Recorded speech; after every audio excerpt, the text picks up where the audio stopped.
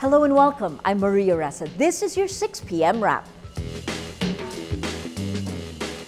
Philippine President Rodrigo Duterte signs his first executive order. It aims to streamline 12 agencies with existing anti poverty programs by placing them under the supervision of Cabinet Secretary Jun Evasco. The Duterte administration will evaluate existing programs to reduce poverty. If deemed necessary, the administration will formulate what it says is a more responsive set of programs complementing existing ones. Some of the agencies to be streamlined are the National Anti Poverty Commission, National Food Authority, Authority, National Youth Commission, and the Technical Education and Skills Development Authority, or TESDA. In a previous interview, Evasco said he'd focus on anti poverty programs if given the chance to serve national government.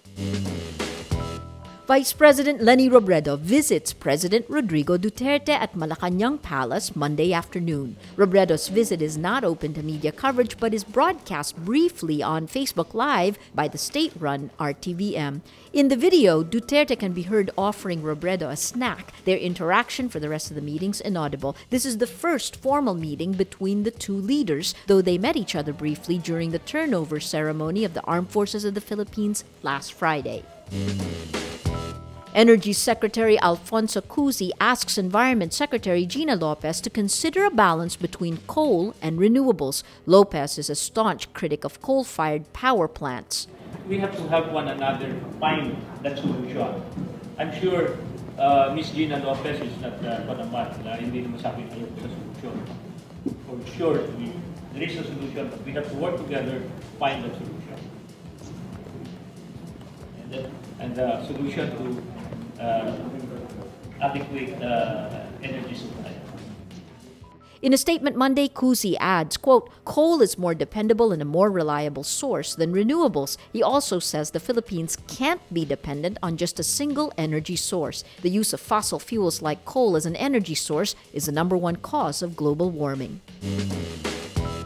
The United Kingdom's frontrunner for the prime ministerial post, Theresa May, vows to push for a trade deal with the European Union limiting immigration. Though she campaigned for the Remain side, May says she will honor the result of the referendum. She also rules out holding a general election before 2020 and insists there should be no timescale for the UK's exit from the EU.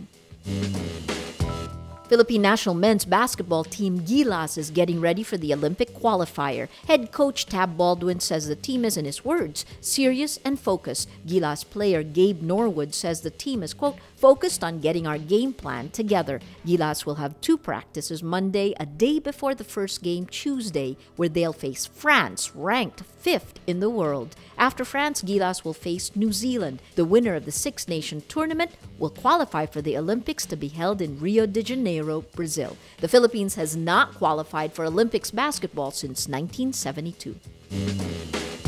That's your 6 p.m. wrap. I'm Maria Ressa. Join us again tomorrow for the day's top news. Remember, tomorrow begins today.